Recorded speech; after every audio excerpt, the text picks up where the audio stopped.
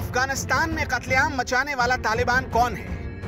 महिलाओं पर जुल्म करने वाले तालिबान की पूरी कुंडली हमारे पास मौजूद है। तालिबान का जन्म कैसे हुआ और इसे कौन ऑपरेट करता है? कैसे ऑपरेट करता है? तालिबान के पास पैसे कहाँ से आते हैं? आज एक एक डिटेल बताएँगे। तालिबान को समझना है तो सबसे पहले आपको लौटना पड़ेगा शीत युद्ध के दौर में। तालिबान के जन्म लेने के पीछे दो देशों की जंग को वजह माना जाता है। और दुनिया ये भी मानती है कि तालिबान अमेरिका की वजह से पैदा हुआ। तालिबान एक पश्तो शब्द है, जिसका मतलब होता है स्टूडेंट वो स्टूडेंट जिसे कट्टर इस्लामी एजुकेशन मिली हो। कट्टर सुन्नी पढ़े लिखे मुसलमानों ने उत्तरी पाकिस्तान में तालिबान की सोच स्थापित की। तालिबान को खड़ा करने में आर्थिक मदद पहुंचाई सऊदी अरब ने।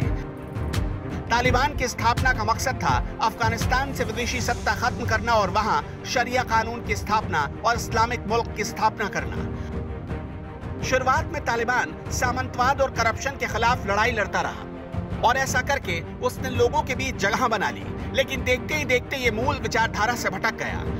1980 के दशक में जब सोवियत संघ ने अफ़गानिस्तान में फौज उतारी, तब अमेरिका ने ही तालिबानी मुजाहिदीनों को हथियार और ट्रेनिंग देकर भड़काया।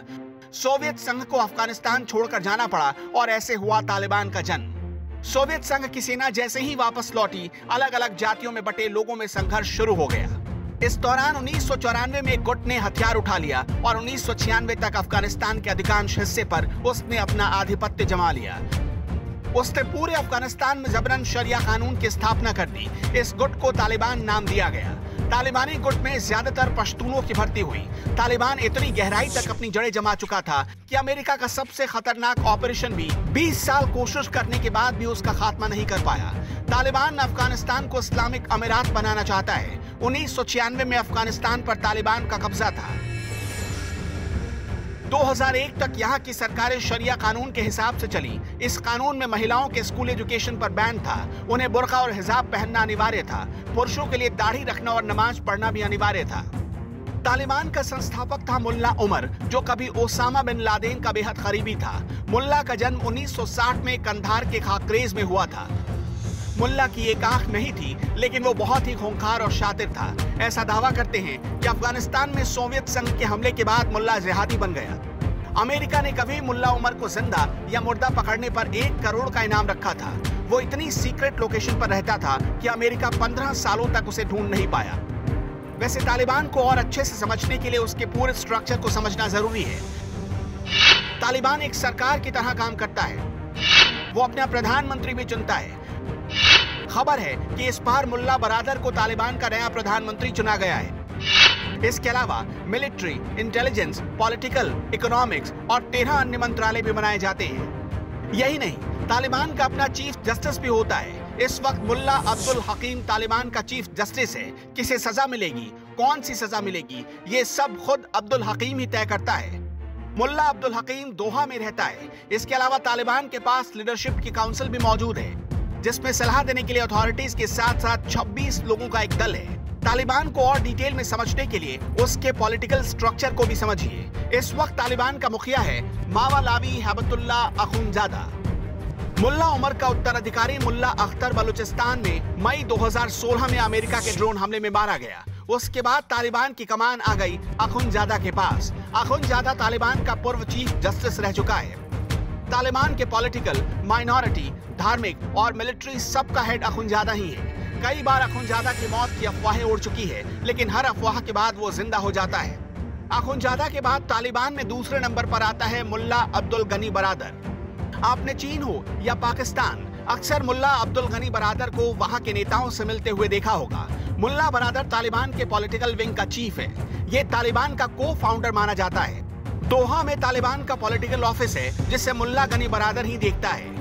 कुछ साल पहले तक मुल्ला बरादर पाकिस्तान की जेल में बंद था, लेकिन अब वही मुल्ला बरादर पाकिस्तान के इशारों पर आतंक की नाच दिखा रहा है। कभी अमेरिका ने उसके सिर पर एक करोड़ का इनाम घोषित किया था।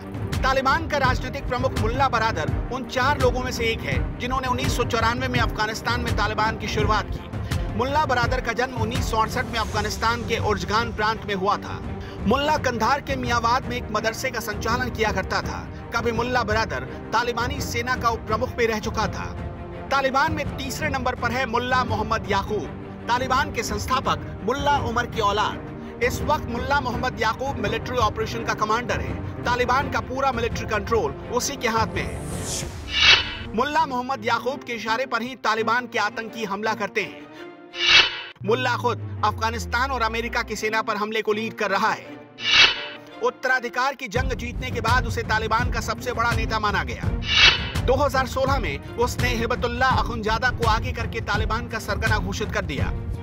मुल्ला याकूब ऐसा करके तालिबान में होने वाली बगावत को रोकने में कामयाब रहा। मुल्ला के बाद चौथे नंबर पर आता है सिराजुद्दीन मुजाहिदीन हक्कानी। सिराजुद्दीन हक्कानी तालिबान के कमांडर रह चुके जलालुद्दीन हक्कानी का बेटा है। सिराजुद्दीन हक्कानी अपने पिता के बनाए हक्कानी नेटवर्क का नेतृत्व करता है। हक्कानी नेटवर्क, पाकिस्तान और अफ़गानिस्तान बॉर्डर पर तालिबान की फंडिंग और आर्मी आर्टिलरी की देखरेख करता है। अमेरिका ने सिराजुद्दीन को मोस्ट वांटेड घोषित कर रखा था। ऐसा दावा किया जाता है कि हक्कानी ने ही अफ़गानिस्तान में आत्मघाती हमलों की शुरुआत की थी। पूर्व राष्ट्रपति हामिद करजई पर हमले के पीछे हक्कानी नेटवर्क ही था।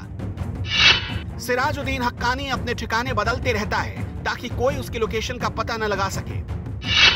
सिराजुद्दीन हक्कानी की उम्र करीब 50 साल है।